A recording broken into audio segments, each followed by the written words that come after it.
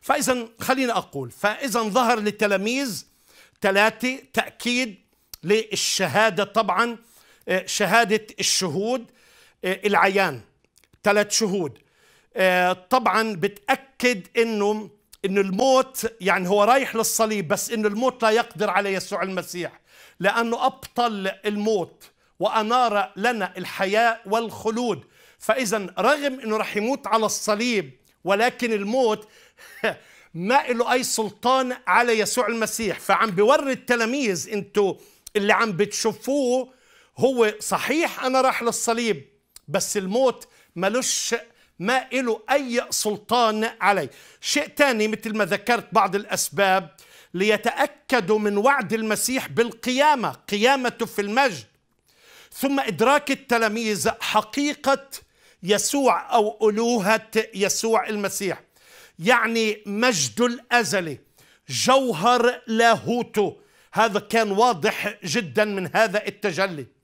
ثم تجلي المسيح هو إعلان مسبق كما ذكرت من ملكوت لملكوت الله. هذا هو نور اللاهوت. حتى اخترق ثيابه صارت تلمع بنور سماوي. نور صعب وصفه نور الألوهة نور الطبيعة الإلهية. ألم يقل يسوع أنا هو نور العالم؟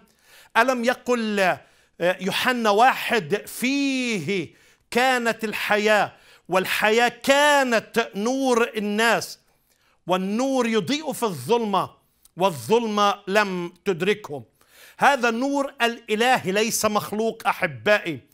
وجهه كالشمس وهي تضيء في قوتها كما ذكرت في رؤيا الإصحاح الأول. ثم يعني هذا التجلي يرينا حالة مجيئه مجيئه ثانية. ثم يظهر لنا أحبائي حالة أولاد الله عند مجيء يسوع المسيح. في رسالة يوحنا الأولى إصحاح ثلاثة مكتوب انظروا اية محبة أعطانا الآب حتى ندعى أولاد الله. من أجل هذا لا يعرفنا العالم لأنه لا يعرفه. أيها الأحباء الآن نحن أولاد الله ولم يظهر بعد ماذا سنكون.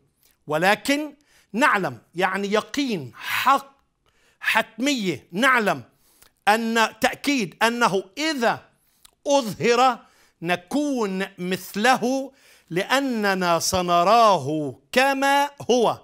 وكل من عنده هذا الرجاء به يطهر نفسه كما هو طاهر.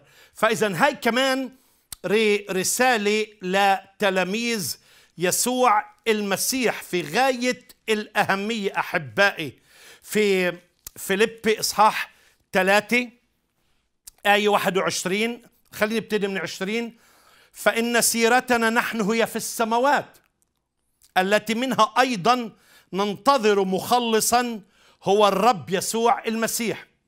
طب شو بننتظر؟ الذي سيغير شكل جسد تواضعنا ليكون على صورة جسد مجده بحسب عمل استطاعته أن يخضع لنفسه كل شيء. سيغير شكل جسد تواضعنا ليكون على صورة جسد مجده. فإذا هاي الحالة هي حالة أولاد الله في مجيء يسوع المسيح ثانية.